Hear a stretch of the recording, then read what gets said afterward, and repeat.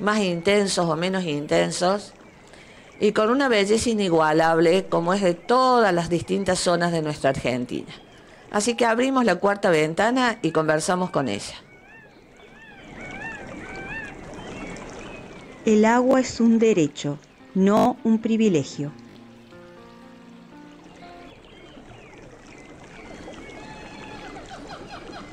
Abrimos esta nueva ventana y estamos con Graciela Narváez. ¿Cómo estás, Graciela? Buenas tardes. No, buenas tardes. Sí. Gusto de poder eh, escucharlo. Bueno, el gusto es nuestro, Graciela. Graciela Narváez, eh, cuéntanos dónde estás. Eh, nosotros te estamos contactando porque, bueno, hemos visto que estás, eh, bueno, como mujer canoera.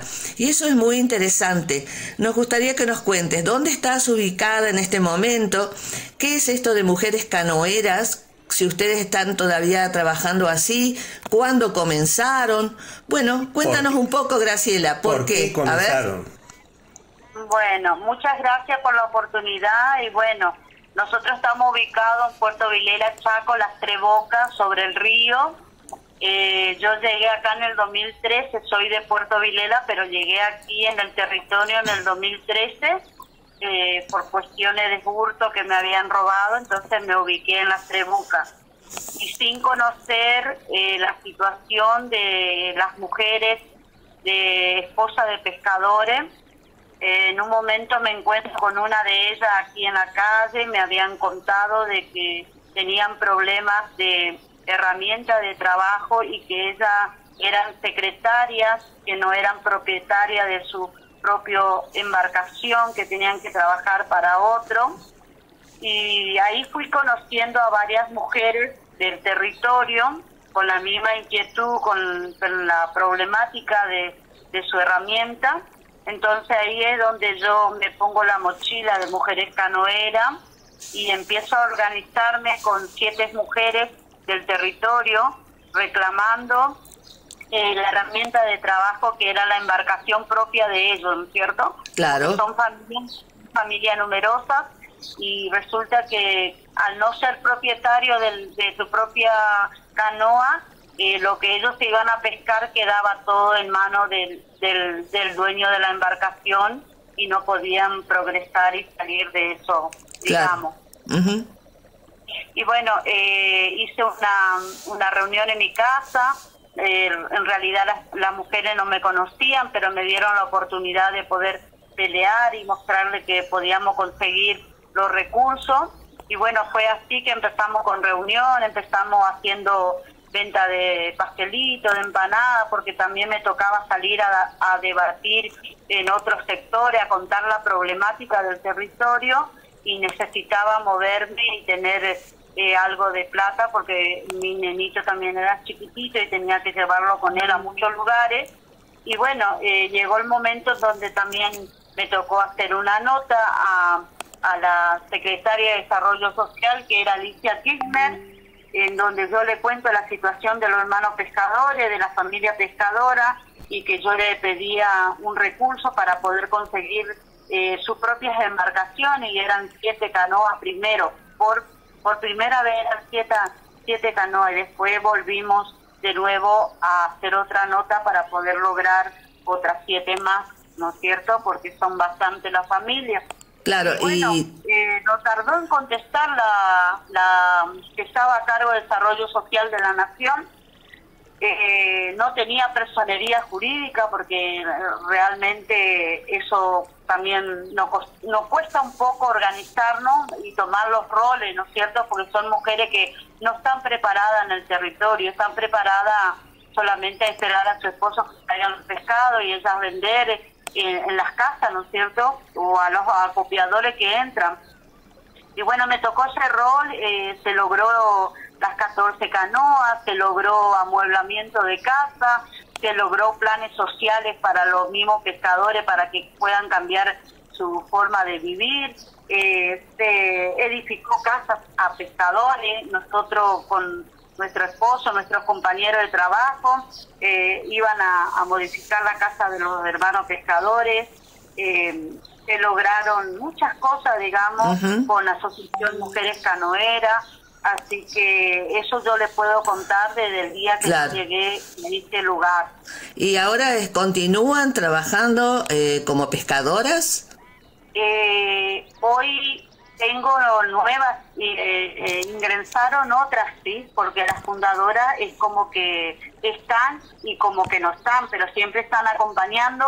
La Asociación Mujeres Canoeras, porque yo tuve una propuesta este año de Mujeres del Sur, Fundación del Sur de Córdoba, donde querían ayudarme a hacer mi personería jurídica, pero resulta que yo intercalé eh, con la universidad para trabajar. Ah, desde el 2018 estamos trabajando también con la Universidad del Chaco, en donde eh, empezamos a trabajar con lo reciclado del río, con una profesora que es la directora Claudia Gatti, es eh, la profesora de, del proyecto Origarte junto con Canoera, porque somos dos equipos en donde estamos trabajando.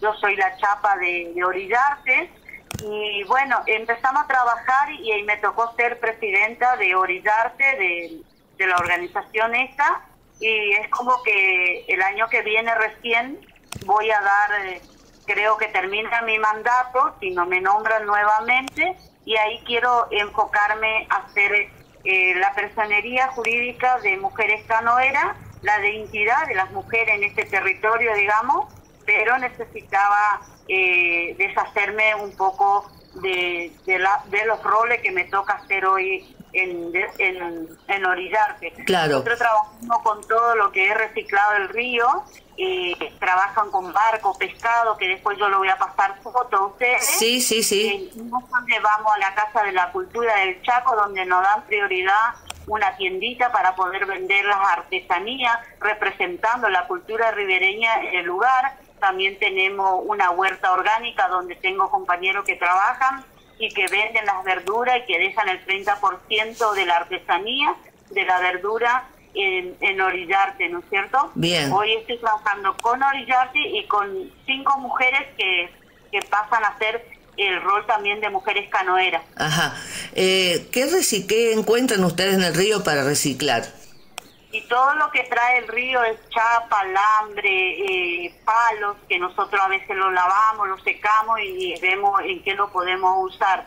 Eh, todo lo que trae el río nosotros lo implementamos en barco, en pescado, eh, en lo que representa el río, digamos. Eso nosotros vimos con la profesora Claudia que al reciclar el río también estábamos representando la cultura ribereña del sector. Claro. Eh, ahora, ¿sobre qué río están ustedes? Porque eso no, no lo habías dicho. Sobre el río Paraná, las Tres Bocas. Ah, sobre el río Paraná, las Tres Bocas. Bien. ¿Las mujeres que están contigo son mujeres jóvenes en este momento? Sí, la verdad que son muy jovencitas las chicas. Eh, alguna, acá tienen todo su rol, ¿sí?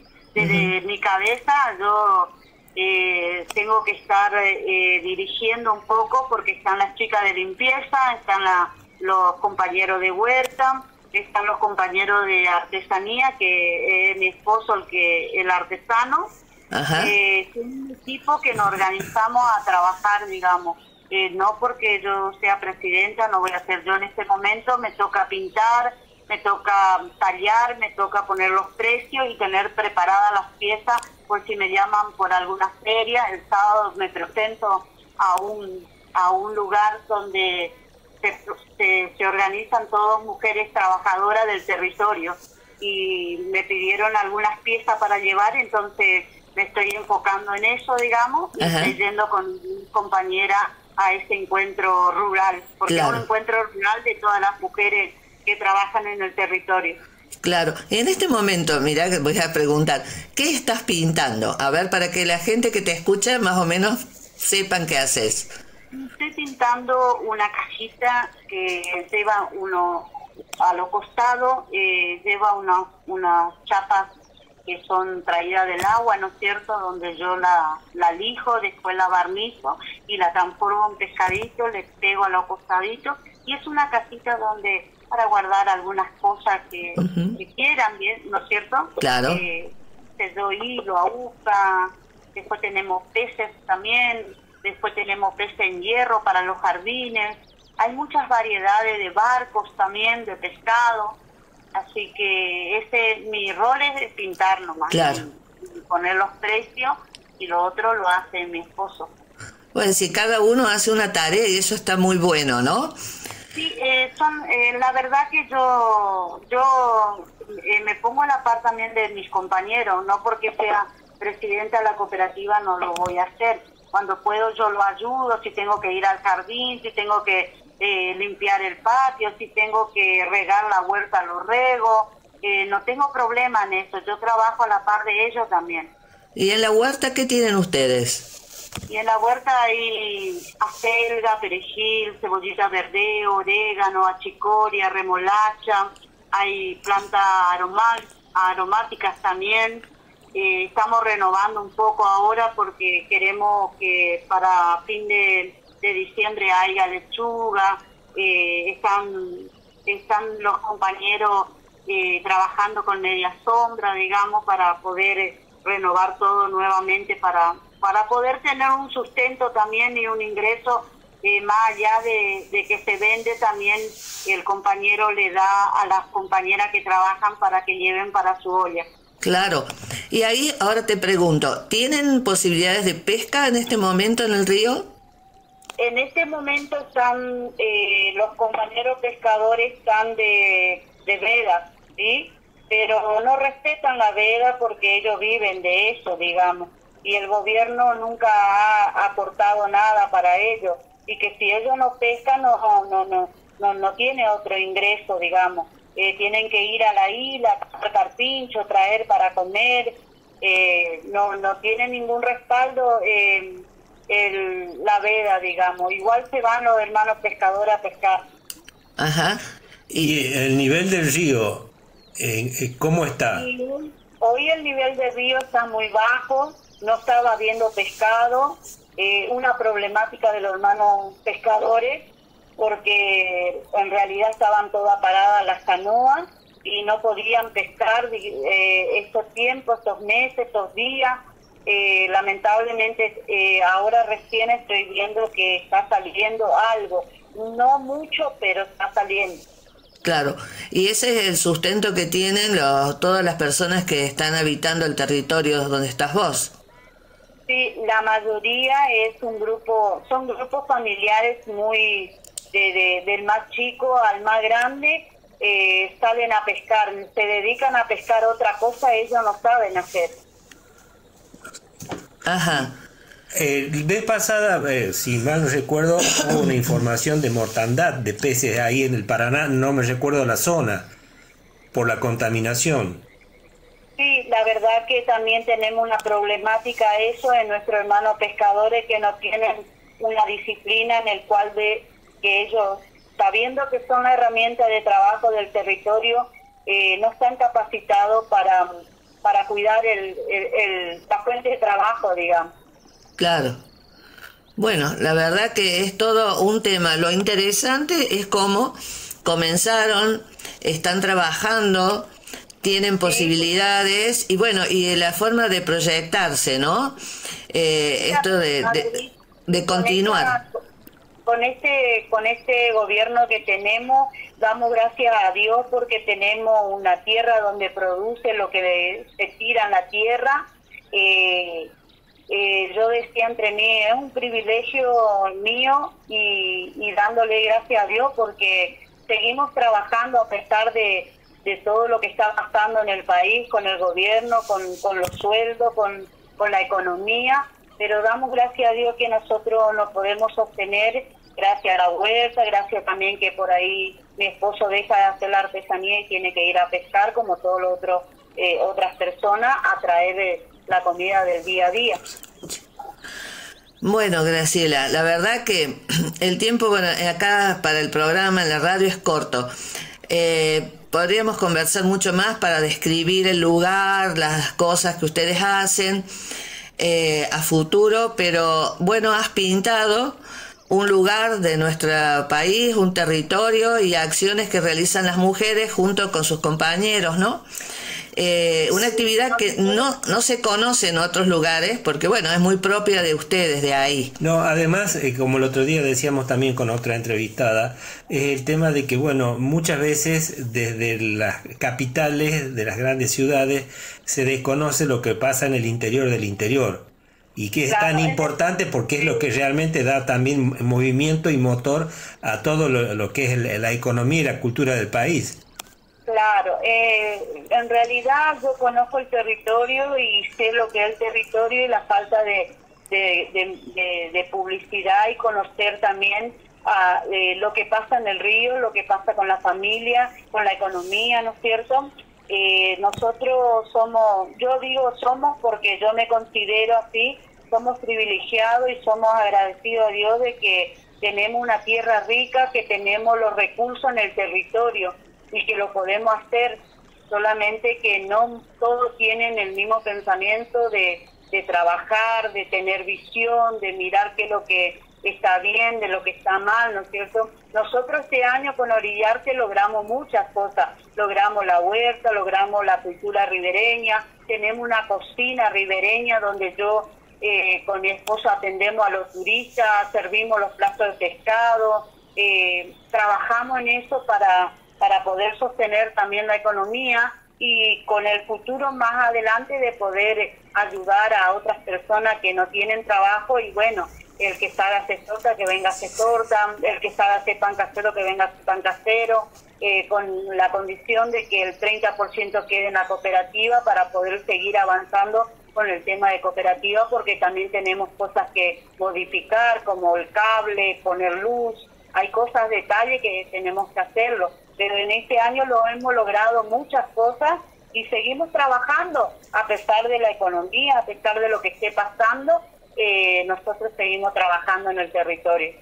Bueno, Graciela, la verdad que eso es muy alentador y bueno, nosotros desde acá les deseamos que realmente eh, eso progrese que cada vez más eh, compañeras y compañeros de ustedes, mujeres canoeras, mujeres que están en la cooperativa y que no lo están y se puedan sumar, y que eso vaya creciendo para beneficio de todos, ¿no?